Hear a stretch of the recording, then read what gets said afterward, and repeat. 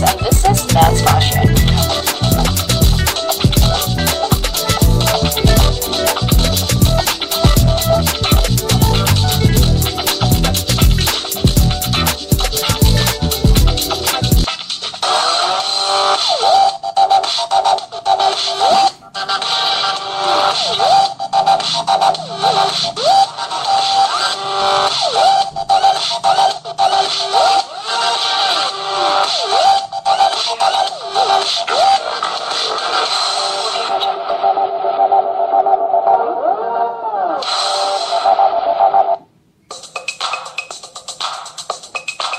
Tampil fashionable tak melulu hanya milik kaum wanita saja. Para pria pun kini telah sadar akan pentingnya berpenampilan stylish untuk kesehariannya. Industri mode tanah air pun dibanjiri oleh koleksi busana yang tak kalah keren dari merek luar negeri.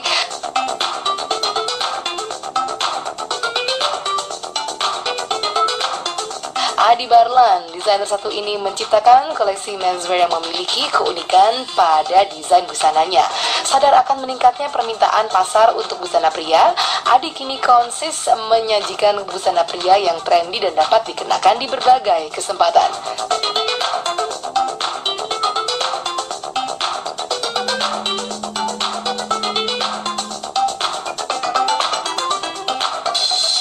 Aku awal mula itu dari lomba, ikut lomba desain di Palm World.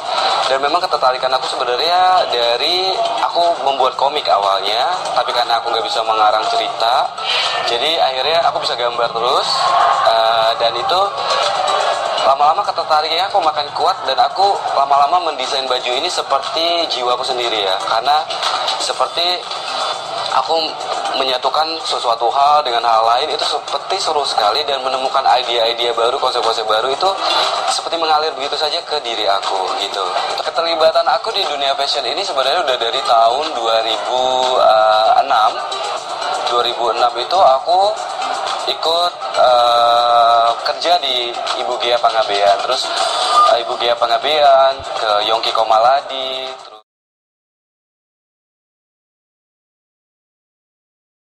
aku ikut sebagai asistennya. Nah dari hal itu aku membuat sendiri brandku dan dipakai oleh Mister Internasional, elemen elemen internasional dan artis-artis juga ada yang pakai bajuku dan aku lebih tertarik memang ke menswear collection dan aku eh, pertama sekali aku keluar aku terpilih eh, jadi 10 besar desainer muda berbakat di Indonesia Fashion World 2010 aku sangat mengutamakan itu Indonesia. Sebenarnya aku lebih suka pertama sekali waktu aku terjun di sekolah fashion itu aku suka pop art Andy Warhol. Tapi setelah aku bertemu dan bekerja di Bugia Pangabean, aku mencintai eh, Indonesia sekali.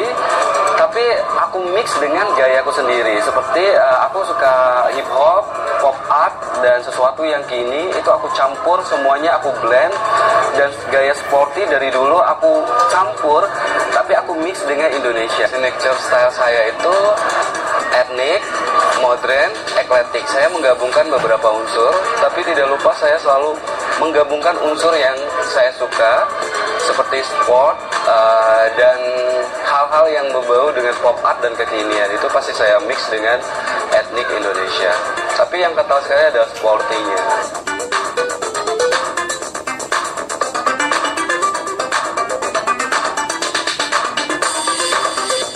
Menyambut tahun yang baru, Adi memiliki beberapa andalan koleksi yang tentunya dapat menunjang penampilanmu di tahun 2018. Kira-kira seperti apa ya koleksinya? Simak selengkapnya hanya di Men's Fashion.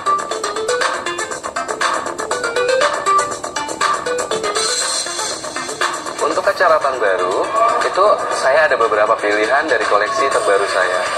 Seperti uh, buat yang semi formal dan lebih casual. Karena kalau di di mix and match sebenarnya ada beberapa yang memang uh, lebih ke semi formal, ada yang memang lebih banyak ke casual. Tapi saya akan uh, selalu membuat koleksi itu range-nya itu memang dari dulu itu dari kehidupan pria sendiri setiap hari dari pagi hingga dia ke malam hari. Jadi dari dia uh, bangun tidur, saya pikirkan sampai dia untuk ke acara-acara resmi di malam hari. Jadi selalu openingnya pasti uh, lebih casual hingga menjadi ke formal. Nah itu selalu saya lakukan. Untuk pilihan tahun baru, kalian bisa uh, memakai koleksi saya seperti uh, untuk ke acara yang lebih muda nih misalnya ke ke acara-acara seperti yang casual seperti uh, acara-acara ke party gitu. Nah itu bisa pakai seperti bomber jacket saya terus dipadukan dengan kaos tapi bisa celananya denim juga tapi warnanya tone-nya nanti kita pilih yang atas atasnya lebih memang udah novelty seperti something new dan yang bawahnya basic aja. Dan pakai sepatu yang uh, cocok dengan uh, gaya casual itu. Itu tinggal penggantian sih sebenarnya. Kenapa saya pakai selalu sepatu uh, warna putih itu untuk menetralkan semua. Jadi bisa pakai ke beberapa kesempatan. Nah, yang kedua, untuk yang semi formal itu semi formal ke formal. Kalau mau semi formalnya bisa pakai coat saya. Coat saya itu ada yang memang uh, body cendrawasih cendrawasih bisa pakai dalaman itu kaos saja. Tapi kalau mau ke lebih ke arah formalnya bisa pakai kemeja. Di dalam pakai kemeja hitam dan ini bisa diikat. Dan pakai celana yang tidak casual. Jadi celananya itu berbahan yang lebih drill atau memang uh, bahan yang lebih untuk kayak suit ya. Jadi pakai bawahnya aja baru pakai itu. Dengan sepatu yang formal.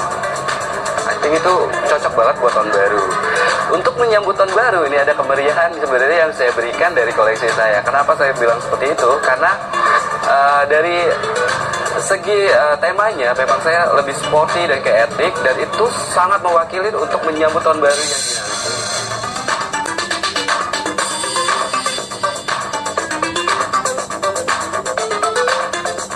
That Nisa? Kini Anda tak perlu bingung lagi untuk tampil trendy saat menyambut tahun yang baru. Sambut tahun baru dengan semangat dan tampilan yang fresh.